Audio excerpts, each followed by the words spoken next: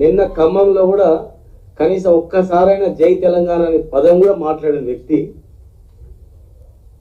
ఇవాళ వద్దని పోయిన చంద్రబాబు మళ్ళీ తెలంగాణకు ఏం ఏమికి వచ్చిండు ఏం ఉద్ధరింకి వచ్చిండో ఒక్కసారి తెలంగాణ ప్రజలు ఆలోచన చేసుకోవాలి.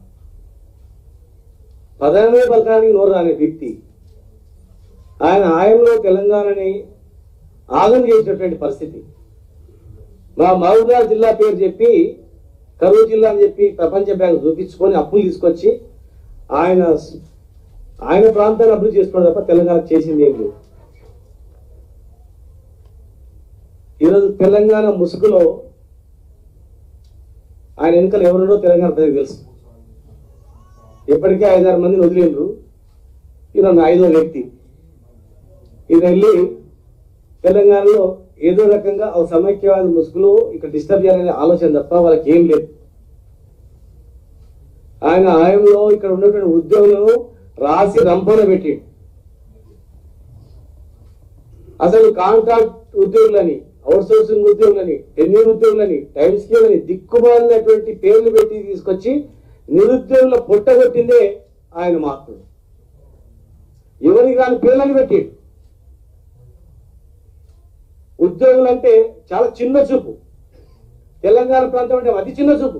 ఒక చిన్న హైటెక్ సీట్ కట్టి దాని మీద పెద్ద ఊహించుకుంటున్నాడు ఇవాళ వస్తే మేము మా టూరిజం బస్సు అరేంజ్ చేస్తాం.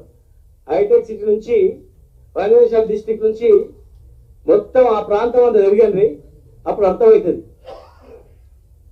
తెలంగాణ ఏంది ఏదని.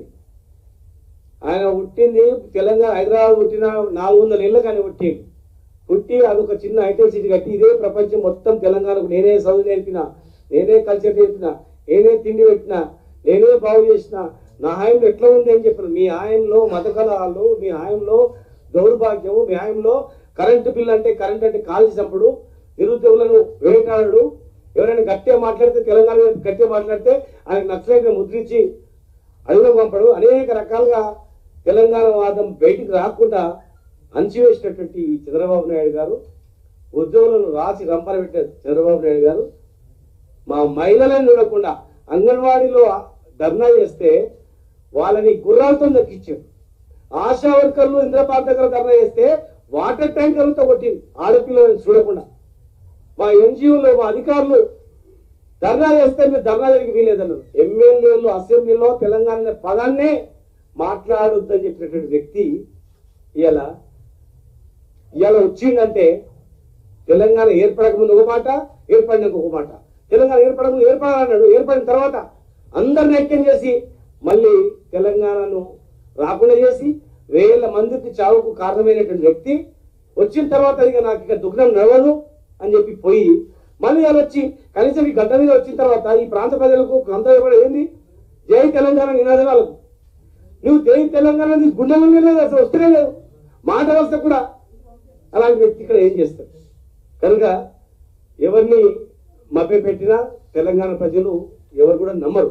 ఆయన చూస్తే ఎట్లా అంటే పంచతంత్రంలోని పులి బారసారి బంగారు కడ కథ గుర్తొస్తుంది. బురదరావు అంటే పులి చంద్రబాబు. బురదరావు అంటే పులి బంగారు కడను చూసి చూపించి తెలంగాణ బాటసారిని పిలిపించుకొని మింగాలని చూసే ప్రయత్నమే ఆయనది. కానీ పంచతంత్రంలోని కథలోని పాఠశాల లాగా మన తెలంగాణ వాళ్ళు కాదు. తెలంగాణ వాళ్ళకు ఓష్ వచ్చింది ధైర్యం వచ్చింది. ఒక దమ్మున నాయకుడు మా వెనుకలు ఒక భరోసా వచ్చింది. కేసీఆర్ గారి పరిపాలన తెలంగాణ పరిపాలన బాగుంది అని చెప్తున్నారు. మరి బాగున్నప్పుడు ఇంకా ఏముంది? ఏ లోపం ఎక్కడుంది? రాజకీయ శూన్యత ఎక్కడుంది? పరిపాలన బాగున్నప్పుడు పరిపాలన బాగలేకపోతే కదా శూన్యత వచ్చింది. పరిపాలన బాగుందని చెప్పి మూడు సార్లు చెప్పి శూన్యత ఎక్కడ ఉంటుంది కనుక ఇదంతా కూడా మోసం. ఖచ్చితంగా తెలంగాణ ప్రజలు అప్రమత్తంగా ఉన్నారు. ఇలాంటి పది మంది వదిలినా ఐదు మంది వదిలినా వంద మంది వదిలినా ఈ ప్రభుత్వాన్ని ఎవరు తట్టుకోలేదు. కేసీఆర్ గారి ముందర మీ పాచికలే నడవు. తెలంగాణ ప్రజల ముందర అసలు మీరు నడవు. థ్యాంక్ యూ మిత్రులారా రెండు అంశాలు మాట్లాడతాను నేను. కొంచెం వాటిని వీలైతే రెండు సపరేట్గా రాయాలని విజ్ఞప్తి. ఒకటి చంద్రబాబు గారి మీద అయితే రెండవది